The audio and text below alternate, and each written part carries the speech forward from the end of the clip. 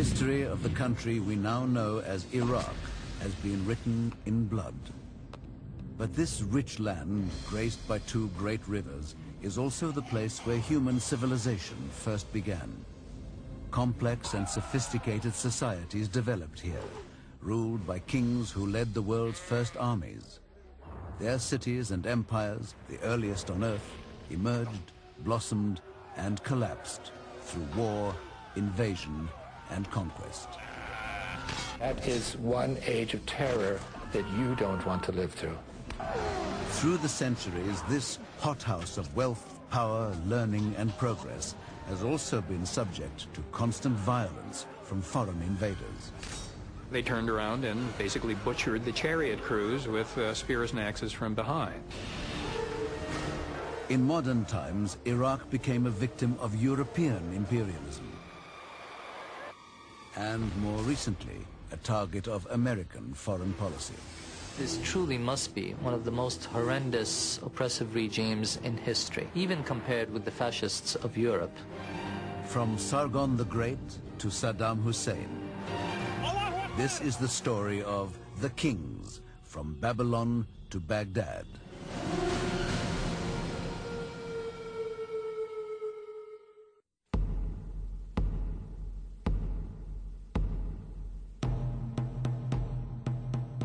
Mesopotamia, the Greek name for ancient Iraq, means the land between the rivers. The rivers in question are the Tigris and the Euphrates.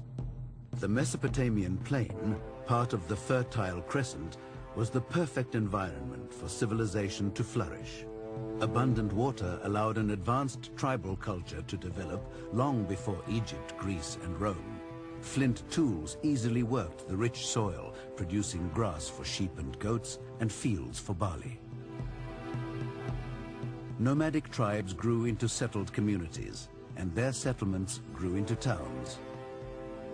By 3500 BC, the world's very first cities, Uruk and Ur, rose to civic splendor in southern Mesopotamia, a region known to archaeologists as Sumer.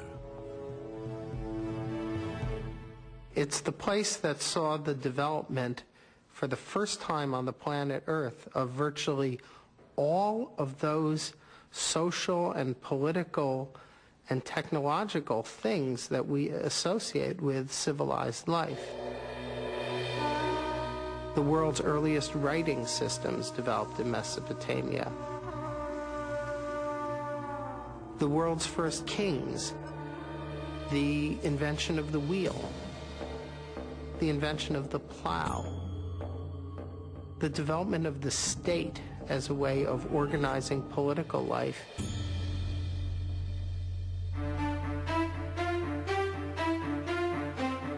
By 2900 BC, Mesopotamia was a patchwork of 30 or so individual self-governing city-states. Each had its own king with a nobility and bureaucracy its own patron god or goddess served by a hierarchical priesthood, and a surrounding area of agricultural land growing dates, cereals, fruits, and vegetables.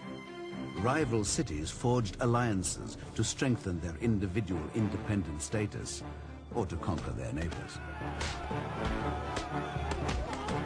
Distances between these cities were actually quite small, and because the irrigation land was so valuable, these cities were constantly at war with one another for the smallest of advantages. By 2334 BC, one king had grown in stature to dominate all Mesopotamia, Sargon the Great, king of the Semitic Akkadians. As far as we know, there are no images of Sargon that survive. We can guess what he would have looked like. He would have looked, uh, at least in his portraits, the way that Mesopotamian kings tended to look, which was uh, powerful, strong. The old form of Sargon's name, Sharukin, means legitimate, a strong hint, according to scholars, that he wasn't.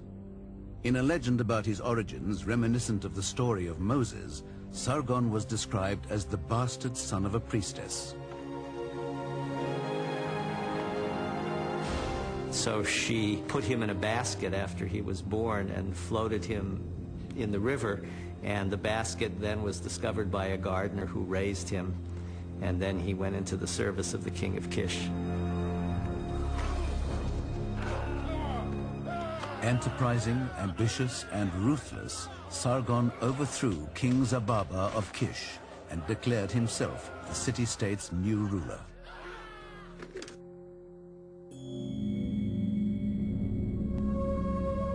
He reigned from Agade, the capital city he built north of Sumer in the state of Akkad, although its precise location has never been found.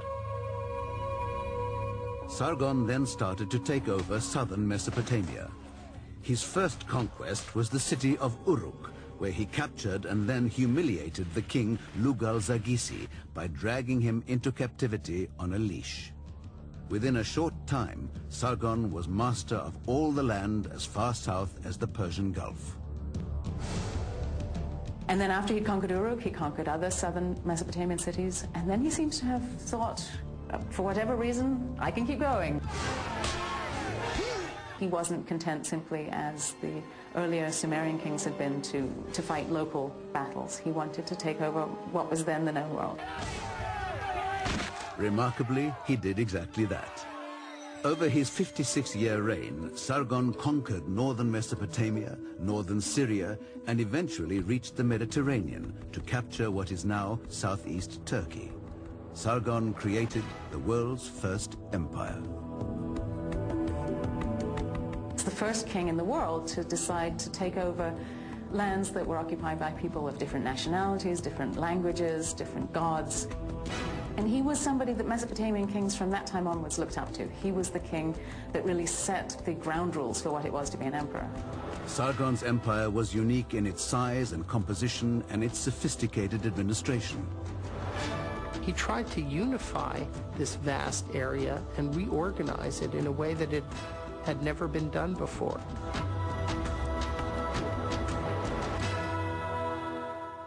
Every city in Mesopotamia had its own system of weights and measures. Sargon standardized weights and measures throughout the whole area he had conquered. And by doing that, he made it possible to have um, trade over vast distances. Sargon was an expert military strategist who regarded warfare as the supreme instrument of power.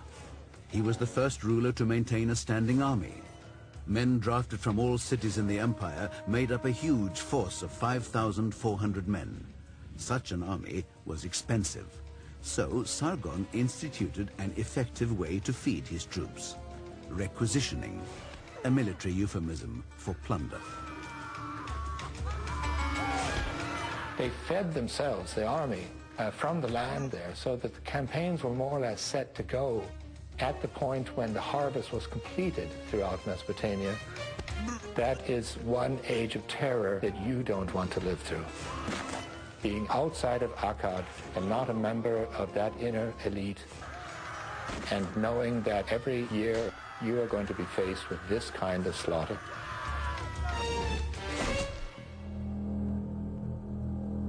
Sargon reigned until his death in 2279 BC. His dynasty continued to rule for a further 82 years. Yet, as impressive as the Akkadian Empire was, it also proved vulnerable to outside attack.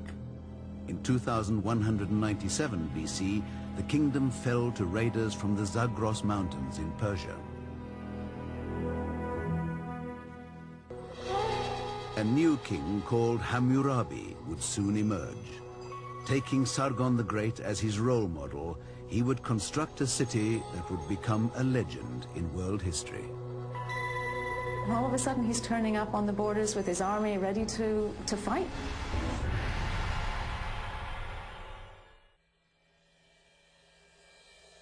In 2197 BC, Chaos followed the fall of the Akkadian Empire that originated with King Sargon the Great.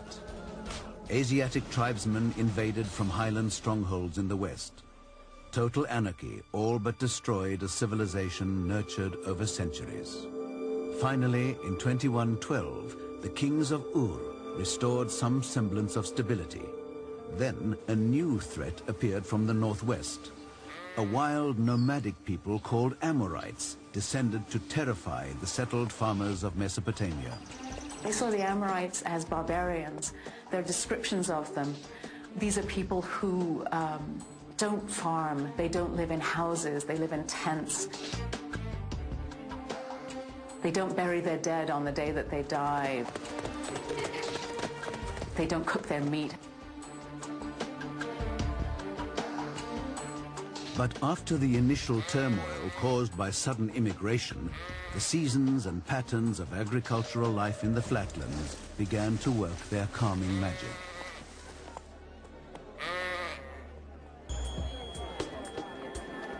By 1900 BC, the Amorites had been completely